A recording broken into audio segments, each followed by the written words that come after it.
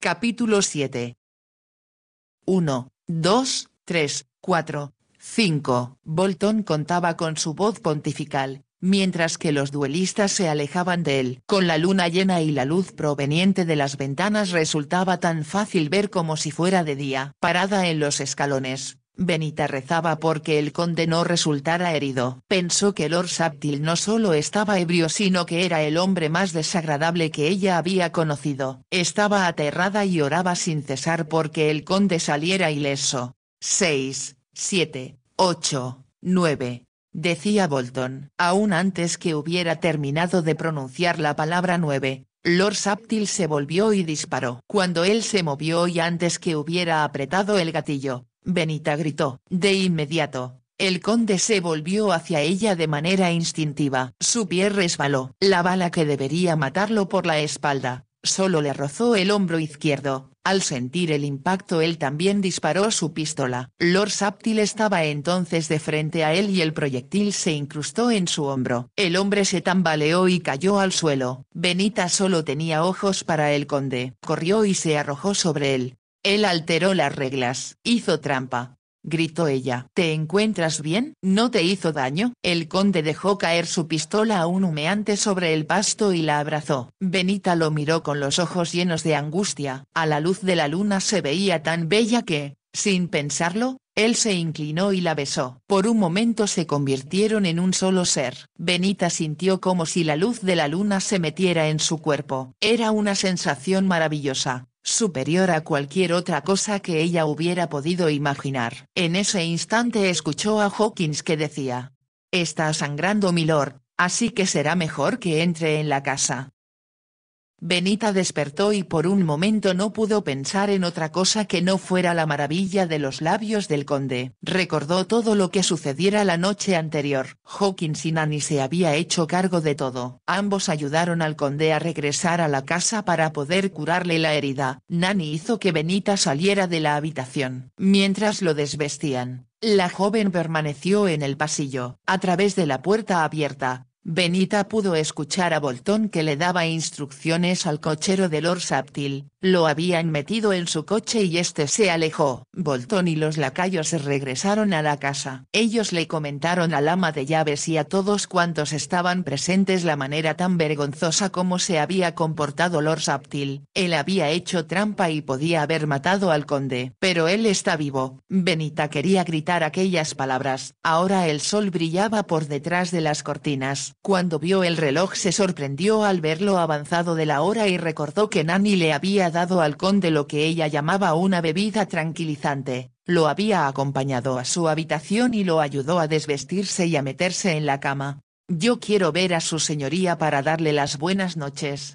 Había protestado Benita. Su señoría está dormido y así debes estar tú dentro de unos minutos. No tenía objeto discutir. Nani insistió en que ella también bebiera un poco de aquellas hierbas calmantes. Benita se había quedado dormida y descansó durante toda la noche sin soñar. Ahora lo veré, pensó ella. De pronto, Sintió miedo de que la herida hubiera resultado más grave de lo que ellos habían pensado. Quizá perdió mucha sangre y se encontraría débil y enfermo. Se levantó de la cama y se puso un bonito negligé de satén azul encima de su camisón de dormir. Ella no podía pensar en otra cosa que no fuera en su esposo. Necesitaba asegurarse de que él estaba vivo. Enseguida salió de su habitación al pasillo. Llamó con suavidad a la puerta del conde mas no obtuvo respuesta. Sintió miedo por lo que pudiera encontrar y abrió la puerta. Las cortinas estaban abiertas y el conde no estaba en la cama. Se encontraba sentado bajo la luz del sol junto a una de las ventanas. Benita sintió una enorme alegría al comprobar que sus temores no eran justificados y corrió hacia él. El conde no se levantó, pero le extendió las manos.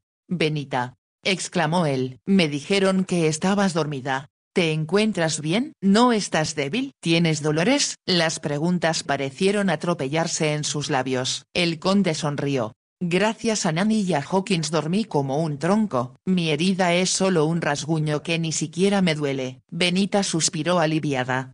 Ese hombre horrible trató de matarte. Olvídalo. Respondió el conde. La historia de su mala conducta pronto se sabrá por todo el condado y dudo que él se deje ver en mucho tiempo. ¿De verdad estás bien?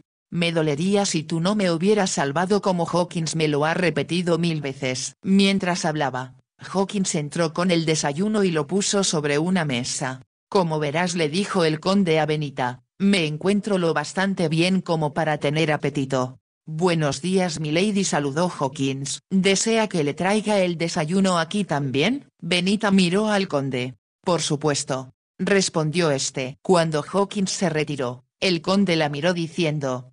Tenemos mucho de qué hablar y permíteme decir que se te ve muy bonita en la mañana. Benita se ruborizó, pues se había olvidado de que solo llevaba puesto su camisón y la neglige. Ella hizo un movimiento como para levantarse. Quédate donde estás, suplicó el conde. Para mí el verte es la mejor medicina. Ella se volvió a ruborizar. Poco después, cuando Hawkins trajo su desayuno, ella olvidó su tensión. No hablaron acerca del duelo, sino sobre las mejoras que iban a hacer en la casa. Comentaron también, acerca de los pensionados y de cómo disfrutarían de su banquete de carne. Continuaban charlando cuando Hawkins entró para anunciar. El capitán Dawson desea verlo milord. Benita se puso de pie. Será mejor que me vista dijo ella un tanto confusa. Sí, por supuesto asintió el conde, por favor, regresa pronto. Hawkins y Nanny me obligaron a prometerles que voy a permanecer en mi habitación todo el día. Benita le sonrió. Ella se hubiera marchado por donde entró, si el conde no le hubiera sugerido. Utiliza la puerta interior, es más fácil. Benita lo miró sorprendida. Era la primera vez que se daba cuenta de que existía una puerta que comunicaba sus habitaciones. En ese momento escuchó al capitán Dawson hablando con Hawkins. Ella salió por aquella puerta y la cerró otra vez. El capitán se acercó al conde y dijo. Siento mucho lo que ocurrió anoche milord, sin lugar a dudas fue algo realmente bochornoso por parte de Saptil, él tenía cierta razón respondió el conde. Yo le debo dos mil libras y pensó que yo estaba gastando su dinero en llevar una vida licenciosa. Miró al capitán Dawson y este dijo. El motivo por el cual he venido hoy es para explicarle sus asuntos financieros, pero antes tengo otra cosa que comunicarle. Tomó asiento delante del conde y le comentó en voz baja. El mayor Grenfell murió ayer.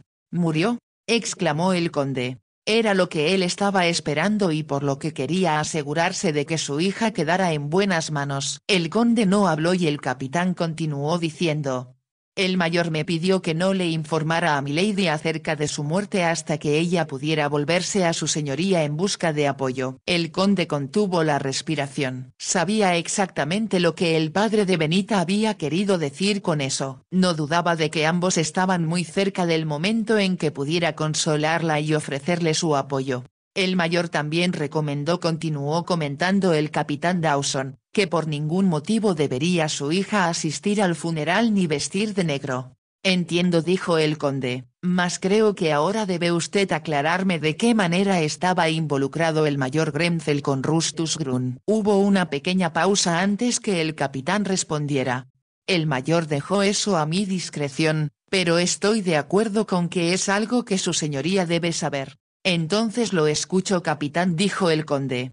Tanto el mayor Grenfell como yo resultamos heridos en la batalla de Ciudad Rodrigo. ¿Ustedes estuvieron allí? inquirió el conde. Los dos pertenecíamos a la caballería real respondió el capitán, que sufrió 500 bajas. El mayor recibió una herida muy grave y yo una bala en la pierna. El conde sabía que la batalla de Ciudad Rodrigo había sido el punto clave en la guerra. El éxito de los ingleses al apoderarse del fuerte resultó ser el comienzo de la caída de Napoleón Bonaparte. Nosotros regresamos a Inglaterra y permanecimos en Londres para que el mayor pudiera consultar a médicos especialistas y también para que rindiera un informe acerca de la batalla al Ministerio de Guerra. El conde asintió. Cuando visitamos nuestros clubes, quedamos horrorizados ante la manera insensata en que los jóvenes de la alta sociedad se estaban comportando. Jugando y bebiendo indicó el conde. Exactamente Estuvo de acuerdo el capitán. El contraste era tan grande e injusto con el valor y los sufrimientos que nosotros habíamos presenciado en Portugal, que el mayor se sintió ofendido.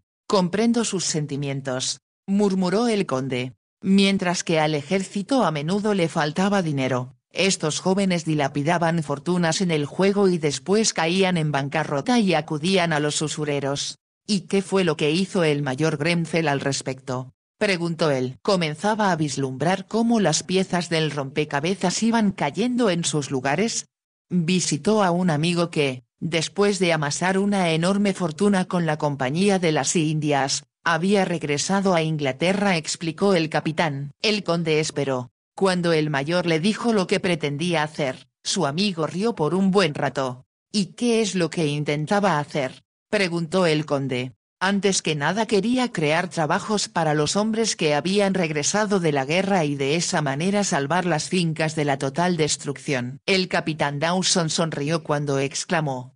Para poder hacerlo, el mayor Grenfell se convirtió en Rustus Grun. El conde recordó el aspecto grotesco que había presentado Rustus Grun en su oscura oficina. Entre los dos preparamos todo, Continuó relatando el capitán. El mayor compró una peluca y solo recibía a sus clientes a la débil luz de las velas. Casi no puedo creerlo. Exclamó el conde. Nadie pudo reconocerlo y creo que se convirtió en el hombre más repudiado de Londres. El conde recordó la forma como Sir Anthony lo había descrito. Él organizó un excelente sistema de espías continuó relatando el capitán Dawson, y a través de este él se enteraba de qué cliente valía la pena salvar y cuál estaba irremediablemente perdido. Yo fui uno de los que él salvó indicó el conde. Los informes acerca de lo que arduamente Milord había trabajado y lo mucho que se preocupaba por su gente eran muy conmovedores respondió el capitán, debe leerlos algún día.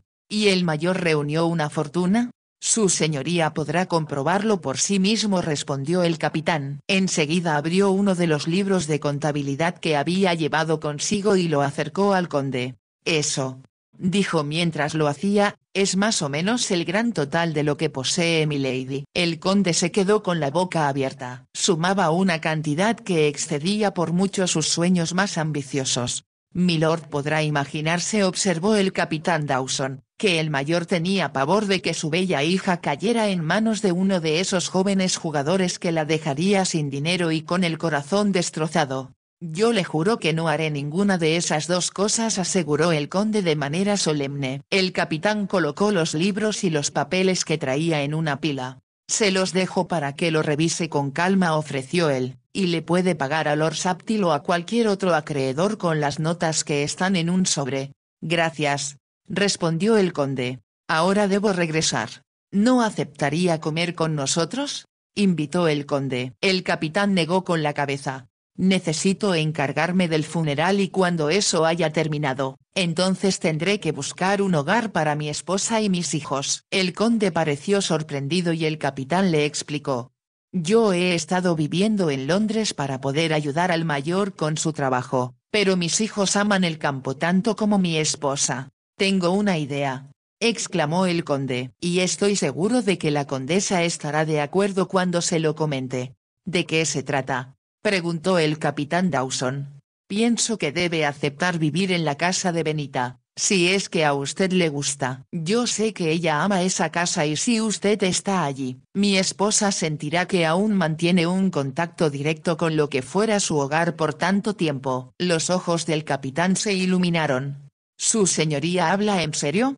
La condesa de Inchester tendrá demasiadas ocupaciones aquí para tener tiempo de pasarlo en otra casa respondió el conde. Supongo que ella deseará conservar las cosas personales de sus padres, pero el resto es para usted. El capitán Dawson extendió su mano, los informes que recibió el mayor acerca de su señoría no exageraron acerca de su consideración y su generosidad hacia los demás. Cruzó la habitación justo en el momento en que Benita entró por la puerta. El capitán Dawson tiene que marcharse explicó el conde, pero estoy seguro de que te gustará acompañarlo hasta la puerta. Sí, por supuesto estuvo de acuerdo Benita. El conde escuchó como ambos hablaban alegremente mientras se alejaban por el pasillo. Él vio la cantidad de documentos que el capitán le había dejado y se llevó la mano a la frente. Casi no podía creer que su vida hubiera cambiado de una manera tan radical durante las últimas horas. Cuando Benita regresó, Estuvo consciente que lo que más le importaba ahora era su esposa. Ella aparecía exquisita ya que el sol que entraba por la ventana daba a su cabello un hermoso brillo de oro. Le pareció ver en sus ojos una expresión que no había visto antes. La hora de la comida llegó antes que Benita hubiera terminado de decirle todo cuanto estaba sucediendo en la casa y lo avanzado que iba el trabajo de los pintores en la biblioteca. Cuando los lacayos limpiaron la mesa, Nani entró. Milord, necesita mantener en reposo ese brazo dijo ella, y no hay pero que valga. Me encuentro perfectamente Nani aseguró él. Esa herida comenzará a sangrar otra vez si su señoría no tiene cuidado insistió Nani, y no voy a permitir que mi lady se enferme de tanto preocuparse. Benita rió divertida. No hay remedio dijo ella. Tendrás que hacer lo que Nani te dice, de lo contrario te va a castigar y no te dejará montar mañana. Eso es algo que definitivamente pienso hacer afirmó el conde. Pues no lo hará su señoría a menos que descanse ahora respondió la nana. El conde hizo un gesto de impotencia con las manos. Benita salió por la puerta de intercomunicación mientras que él se quitaba la bata y se metía en la cama. Ahora trate de dormir sugirió la nana mientras cerraba un poco las cortinas. Todo lo que ha ocurrido ha sido un impacto muy fuerte para todos nosotros y eso nadie lo puede negar. No, por supuesto que no Nani aceptó el conde. La nana y Hawkins salieron de la habitación. Unos momentos más tarde, Benita miró por la puerta de intercomunicación. ¿Estás dormido? preguntó ella. No, respondió el conde, y si tú no vienes a conversar conmigo, me voy a levantar. Eso es un chantaje. No importa cómo lo llames, pienso hacer lo que te digo respondió él, ya estoy aburrido de estar acostado en esta cama solo. Ella se acercó y él le dijo. Ven y acuéstate conmigo. Tengo muchas cosas de que hablarte. ¿Acostarme contigo? murmuró ella. ¿Por qué no? respondió él. Después de todo, estamos casados y ni siquiera Nanny puede negar eso. Benita rió mostrándose indecisa y el conde dijo. Por favor Benita, yo me estoy comportando muy bien y estoy haciendo cuanto me ordenan por eso merezco un premio de buena conducta. Benita se volvió y salió corriendo por la puerta de intercomunicación. El conde esperó unos momentos. Entonces se levantó y cerró con llave la puerta que daba al pasillo. Él mantenía los ojos cerrados cuando Benita regresó, vestida con su bonita neglige. Él no habló ni abrió los ojos por lo que ella lo miró con incertidumbre durante algunos segundos. Entonces se dirigió hacia el otro lado de la cama. Con mucho cuidado, como para no despertarlo, se quitó la neglige y se metió entre las sábanas. Había una buena distancia entre ambos, pero como el conde no se movió, ella se acomodó sobre un lado y lo miró con la cara recostada sobre la almohada. Él era muy guapo. Qué horrible habría sido si Lord Sapti lo hubiera herido tal como lo intentara. Si bien el conde no hubiera muerto, Quizá hubiese quedado lisiado y nunca más podrían montar. Aquello hubiera sido una tragedia. Entonces ella elevó una plegaria de gratitud por tenerlo allí. De pronto el conde abrió los ojos. Al hacerlo, se volvió de lado de manera que ambos quedaron frente a frente y podían mirarse a los ojos. ¿Estás despierto?